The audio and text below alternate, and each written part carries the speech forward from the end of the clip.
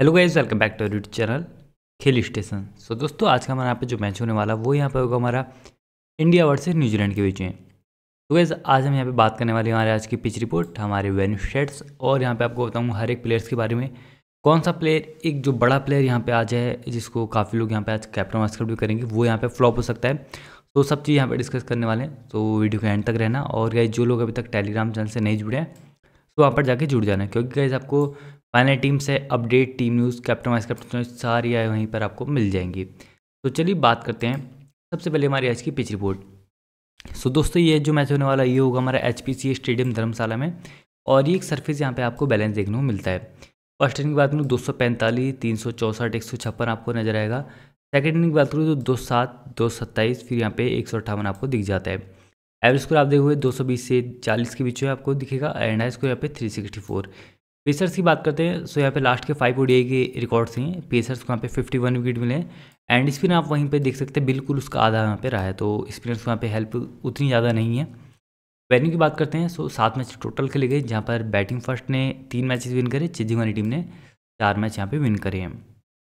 Scoring pattern की अगर बात करूँ, दो से नीचे यहाँ पे तीन बार है, दो सौ से ढाई सौ के मैच में दो बार है।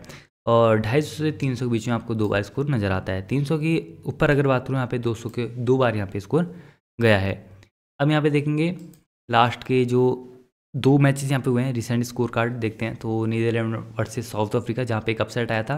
ठीक है, उसके बाद अगर बात करूँ इंग्लैंड वर्सेज बांग्लादेश तो यहाँ पे आप देखते हो, यहाँ पे जो पेसर स्कोर है, वहाँ पे थोड़ी सी ज़्यादा यहाँ पे मदद मिली है। सात सात, चौदह विकेट और वहीं पर अगर स्पिनर तो ओनली फोर विकेट यहाँ पे मिले हैं। यहाँ पे आठ चार बारह विकेट है और स्पिनर को यहाँ पे ओनली सेवन विकेट्स मिले हैं तो यहाँ पे थोड़ा सा टारगेट बड़ा था और स्पिनर यहाँ पे थोड़ा सा काम कर गए थे अच्छा खासा ठीक है उसके बाद बात करेंगे मैं से हमारे हेड टू हेड रिकॉर्ड्स की तो हेड टू हेड में यहाँ पे देखो इंडिया वर्सेज न्यूजीलैंड के बीच में 116 मैचेस यहाँ पे टोटल खेले गए जहाँ पर को 58 विन करे हैं इंडिया ने और 50 यहाँ पे करें न्यूजीलैंड ने बट गए आपको एक चीज़ बता दूँ 2003 से ना वर्ल्ड कप के यहाँ पे कोई भी मैचेस में गए हम यहाँ पे न्यूजीलैंड से यहाँ पे विन नहीं कर पाए हैं ठीक है तो अब यहाँ पर ये देखना होगा, ये स्ट्रिक टूटती है नहीं।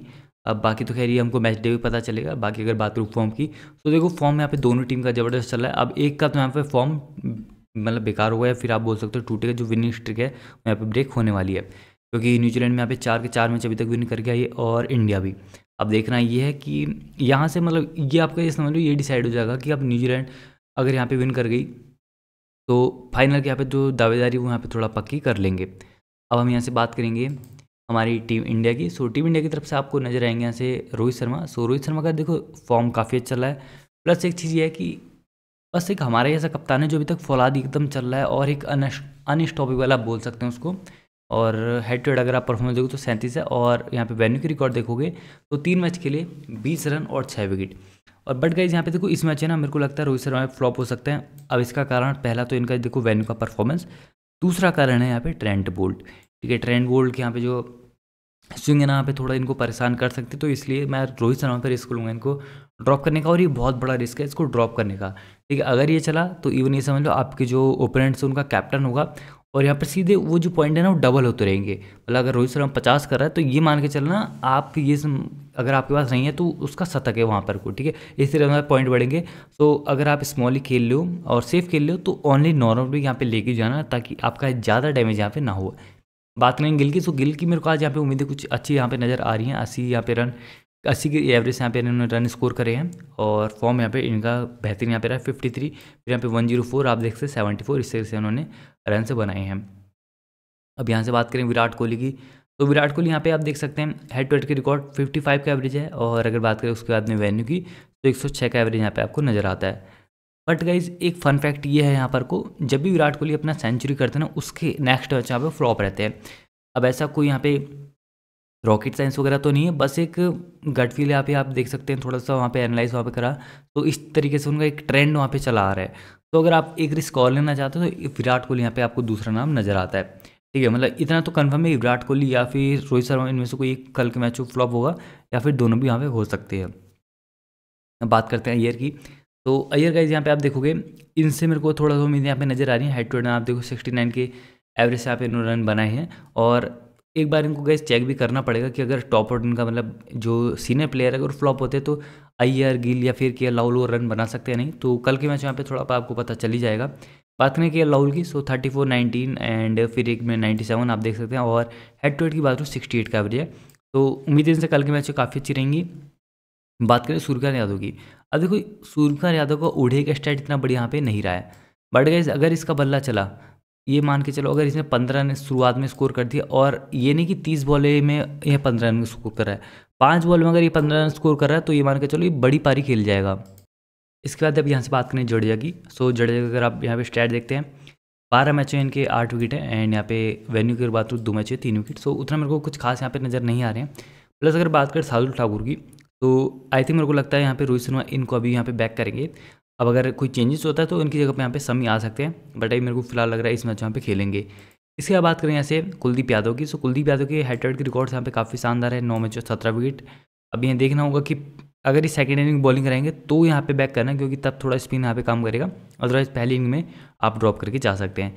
जसप्रीत बुमराह, यहाँ पे आपको नज़र आएँगे, ग्यारह मैचे तेरह विकेट हैं। वेन्यू पर आप देखोगे दो मैचे एक तो जसप्रीत बुमराह का यहाँ पे सिलेक्शन बस यहाँ पे ज़्यादा आई होगा, लेकिन उम्मीदें मेरे को इनसे कम है। उम्मीदें मेरे को आज यहाँ पे जो नज़र आ रही हूँ, वहाँ पे सिराज आएँगी। क्योंकि तो सिराज के यहाँ पे जो स्टैट्स हैं, वो यहाँ पे थोड़े से अच्छे मेरे को यहाँ पे नज़र आते हैं। प्लस जो इनके मैचअप्स है ना कॉन्वे के आगे सो वो थोड़े से शानदार थे।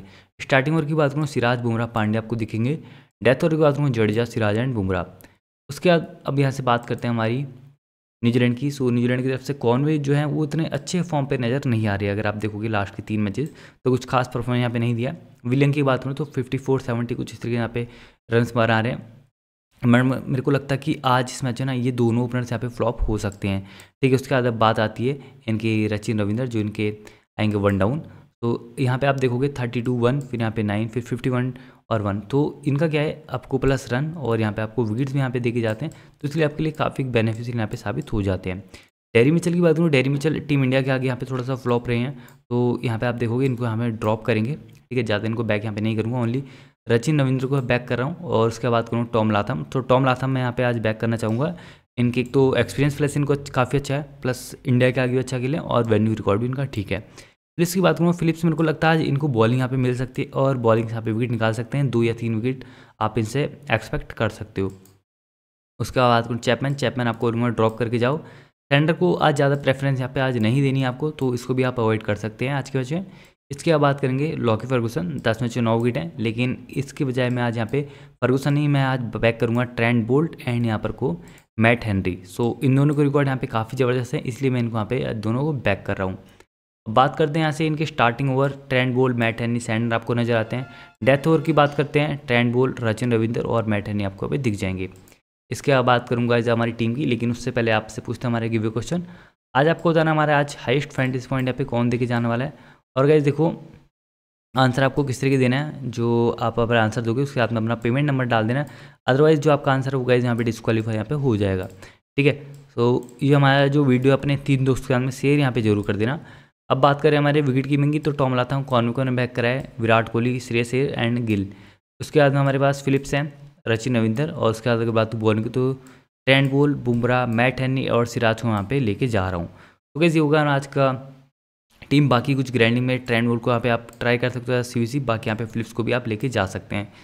तो दोस्तों, ये अपना कॉमिशन बना के जाना और बाकी जो भी चेंजेस होगा फाइनल वो आपको बता दूँगा टेलीग्राम चैनल पे तो वहाँ पर जाके जुड़ जाना, ठीक है? सो ये हमारा आज का था वीडियो अगर आपको हमारा वीडियो अच्छा लगा तो हमारे वीडियो को लाइक कीजिए और चैनल को सब्सक्राइब कीजिए। Thank you guys best of for your match